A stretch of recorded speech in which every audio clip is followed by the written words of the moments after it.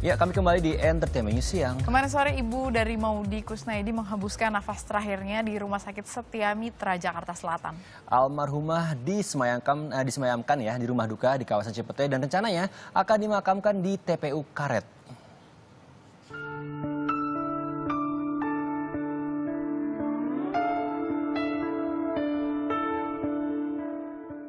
Berita duka datang dari keluarga Maudi Kusnaidi. Kemarin sore tepatnya jam 3 lebih 55 menit, ibunda tercinta Haji Sondari Sumiati binti Sulaiman mengembuskan nafas terakhirnya di sebuah rumah sakit kawasan Jakarta. Seolah tegar dan mengikhlaskan sang mama untuk selama-lamanya, Maudi pun ikut larut dalam melantunkan doa untuk sang mama yang kini telah tiada.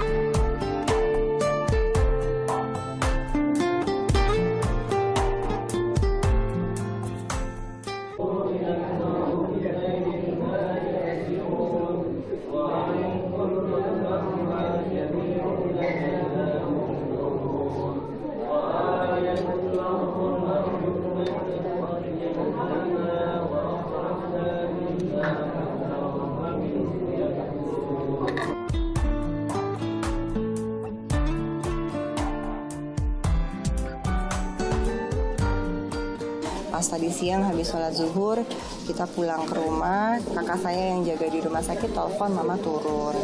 Ya udah kita rame-rame ke rumah sakit karena kebetulan deket jarak rumah sakit sama rumah mama.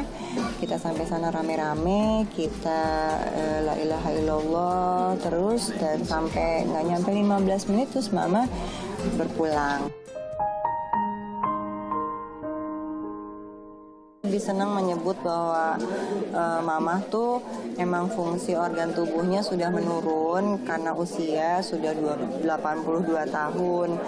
E, sejauh ini sih mama cuma punya sakitnya diabetes aja, tapi mama masuk ke rumah sakit itu kurang lebih tiga minggu yang lalu karena demam tinggi dan tekanan darahnya yang naik turun nggak stabil. Uh, hasil yang lain-lainnya sih bagus, artinya uh, darah aman, steril, uh, tidak ada TBC, tidak ada kanker, hasil CT scan bersih, uh, tidak ada infeksi, tidak ada virus gitu ya. Jadi uh, memang mungkin ya memang sudah usia aja gitu.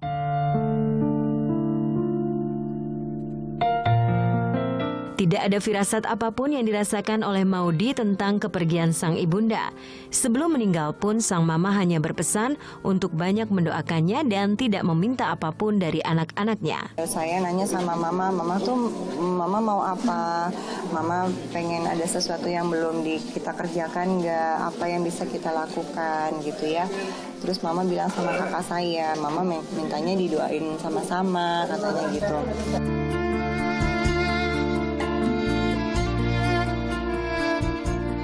Mungkin dalam kesempatan ini kalau boleh saya juga ingin mengucapkan terima kasih buat teman-temannya Mama, saudara-saudara, keluarga, dan semuanya yang sudah uh, memberikan doa dan perhatiannya buat Mama. Uh, kita juga paham kalau sulit untuk datang untuk ketemu di Jakarta kan macet dengan semua kesibukan nggak apa-apa yang penting minta al-fatihahnya aja buat mama minta doanya buat mama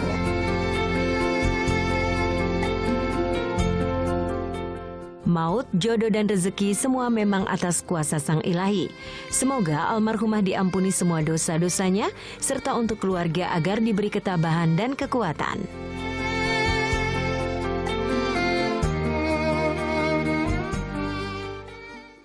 Mewakili tim Entertainment News juga ya, kami juga mengucapkan duka cita mendalam dan juga bagi almarhumah semoga dibukakan pintu surga dan juga terima di Allah Subhanahu wa taala dan bagi keluarga diberi kekuatan serta ketabahan. Betul Amin. dan good